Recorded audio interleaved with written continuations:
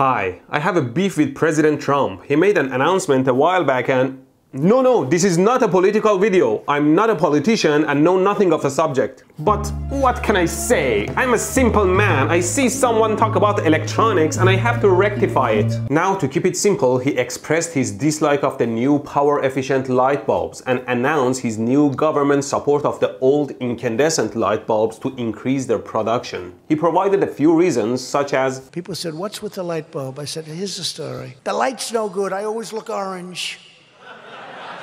Which is of course true because when the white light hits a surface, the surface absorbs many of the wavelengths and only reflects a few, which is why we see the surface in a particular color. And so because he's orange, he looks orange. This is not a political video. I'm just stating facts and science. I thought he was joking at the beginning, but then he completed himself by saying, Good. I always look orange. and so do you. The light is the worst. Okay, then that's a different claim. Although if everyone looks different, then no one looks different, so that's not a real problem. Then he made another complaint about the lights. But number two, it's many times more expensive than that old incandescent bulb. They have warnings. If it breaks, it's considered a hazardous waste site. It's gases inside. Which made me realize he's talking about CFL or compact fluorescent lights. Frankly, I don't like those lights either, so there is truth to his claims and we're kind of in the same boat. This is not a political video. It's not about if I dislike the president or not like him. But you know how it goes, you mention Trump and the whole world blows over. That's why this video is only sponsored by my patrons at patreon.com. Although I may lose a bunch of them now because of this. I shouldn't be afraid to talk about science. It's just about science. So spasm like now if you agree. Spasm. Is that how people like my videos by involuntary muscle twitch? you think the only difference between light bulbs is light color and efficiency? Wrong! I created a table of many different parameters and I'll score every light bulb to see which one gives the best user experience. There are four different major types of light to check. First one is the classic incandescent light. There is a thin tungsten wire in there that heats up with electricity and glows. The bulb is filled with nitrogen or argon gas. Pretty harmless. You almost can't buy these in Canada anymore. Good. Second type is halogen. Its structure is very similar to incandescent, just that it's filled with halogen gas, which makes it run brighter, so it's over 30% more efficient than incandescent. They are typically made as spotlights, but they also make them in these regular shapes too. Let me show you how. See this? They actually put a smaller halogen bulb in a bigger glass to make it look normal. Next is CFL or compact fluorescent light. You have seen these big fluorescent lights in offices. They figured out a way to spin them into this compact form. There is mercury inside the glass that vaporizes and glows bright under high voltage. Mercury vapor under high voltage generates tons of ultraviolet light. Inside the glass is coated with phosphor that absorbs most of the UV light and glows in visible spectrum. I'm not a fan of CFL light, same as my comrade President Trump.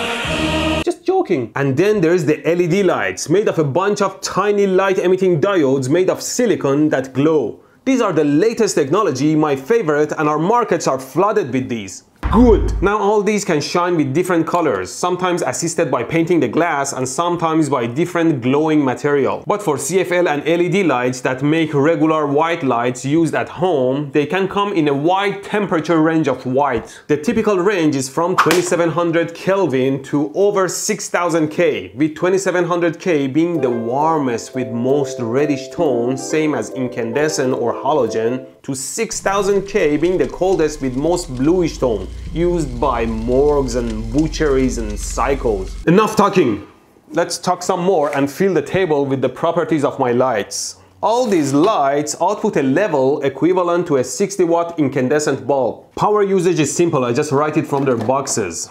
Incandescent is 60 watts obviously, halogen is 43 watts, CFL is 13 watts and LED is 8.8 watts. This is a bad parameter, the less is better, so I call it B1. Light level for a 60 watt incandescent can be as high as 800 lumens, but it's typically 700 or less. Lumens is the unit of luminous flux or the total amount of light emitted by a lamp.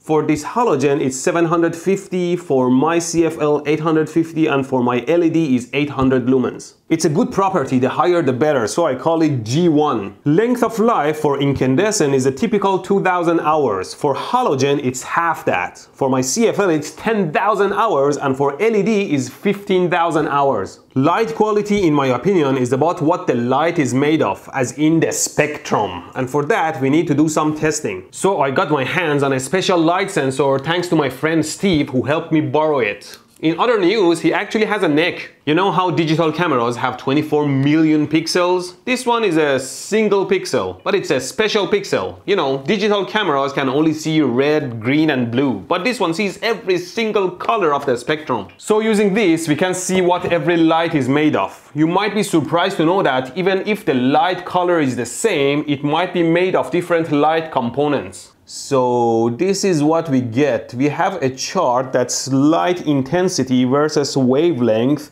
we get a little bit of UV light and then the visible range and then the rest is infrared. First let me see if I can measure the sunlight. I have to turn off all my lights. Here we go. Although it's a bit cloudy today so it might be on the colder side and you see it's not very smooth. It's because the gases in the atmosphere absorb different frequencies of light and create notches in the wavelength. And maybe I should stick it outside the window because the glass itself filters the infrared light. It's a cloudy day anyway so there is not much infrared in, out, in, out, in, out. It's interesting that the white light doesn't have a flat spectrum at all. Now let's try my four light bulbs starting with the incandescent light as my baseline. This is my favorite light color. It's warm and nice. And here it is. Tons of infrared light, but a very smooth peak that covers the entire spectrum. Sun, lamp, sun, lamp, sun, lamp. So it's wasting a ton of energy radiating in infrared because we can't see it anyway. It might be just helping bees and snakes. Next light is halogen bulb. And here is the spectrum, very similar to the incandescent light bulb, a very smooth peak, nice and warm and has tons of infrared, although the color feels a little bit colder. Halogen, incandescent, halogen, incandescent, halogen, incandescent. Now to my least favorite light bulb, CFL. Although they did try to match the warmness to the incandescent light bulb. And here it is. Whew, Oh my god, spikes. Spikes everywhere. There is even a large spike in the UV region. Let's lower them. There you go. So the white light is made of three spikes, three major spikes in red, green and blue regions. And the red spike is quite orange. Maybe our little orange guy wasn't wrong after all. Of course, the CFL has a warm light. I assume in colder ones, the blue spike is much larger and so the spike in the UV light. That's why I say CFL has my least favorite light quality, because it's made of spikes. Like I said, every surface absorbs a bunch of wavelengths and only reflects a few, and that makes the color of the surface. So if a surface reflects a certain wavelength that falls between these spikes, it could appear too dark, although it is not dark. Or if it matches these spikes, it could appear too bright. So although the CFL light has many spikes, it may not light up the environment uniformly. And it also radiates low levels of UV light that's known not to be great for health. And now the LED lights. First, let's try the cold 500K LED. Here we are, no spikes in the UV region, expected spikes in blue and a much wider one in green and red region, and then unexpected red spikes? What are they using? Red LED lights? Let's try the warmer 2700K LED.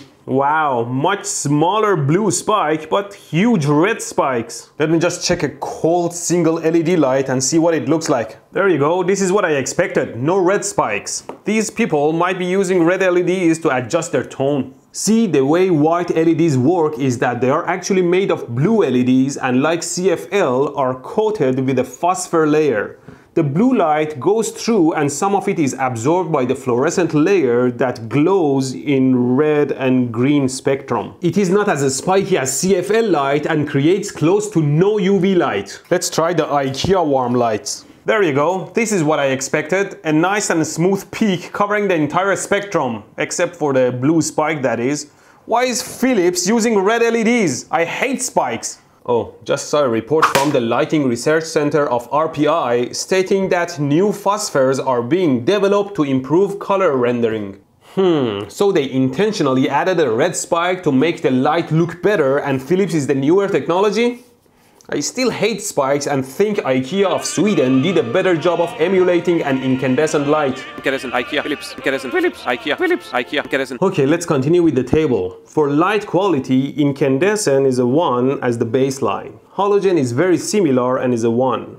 CFL has a very spiky spectrum and radiates low levels of UV that can irritate your skin if you sit too close, have sensitive skin, or have a high UV level lamp. Although newer technology can improve it, but we still saw UV on this one, so I give it half a score. LED's spectrum can be very similar to incandescent, but it can still be spiky, so I give it a 0.9. For durability, you drop incandescent, CFL or halogen, they can break and die. But halogen is especially more sensitive. Halogen light capsule is made of quartz rather than ordinary glass to be able to handle higher temperatures. Touching it with your salty oily fingers will significantly weaken it. LED on the other hand the cover is made of plastic. It doesn't matter if it breaks. As long as the electronics is not broken, it runs. So it's like 10 times better. So if incandescent is 1, halogen is 0.75, especially for those that you can actually touch the quartz. You just have to be careful not to shake or touch it. CFL is also a 1. LED is much stronger, but it's not that big of a deal. You just have to be more careful with the other one. So I give it one and a half. Cost-wise, I was surprised that the incandescent is around $2 now. Used to be around the loonie, eh? Maybe it's because they don't sell them much anymore. Good! $2.5 for halogen, $4 for CFL, and LED is getting much cheaper, around $3.5 for the dimmable option. $1.30 at IKEA for non-dimmable option. Sweden! For light temperature, incandescent and halogen are both around the same, so 1. CFL and LED have a much larger range to choose from. But who cares? Warm is the best option, unless you're a psycho. And don't forget, blue light can create excessive glare and flare in human eye compared to red light, especially dark at night when the eye pupil is wide open and can make it hard to see details. So go warm or go home. It's good to have options, but to me it's not a big deal. I go straight for warm, so I give them 1.2. For dimmability, both incandescent and halogen are dimmable, but CFL is not. Let's say 20% of the lights at home need to be dimmable and CFL can be used on the rest, so I lower its score to 0.8.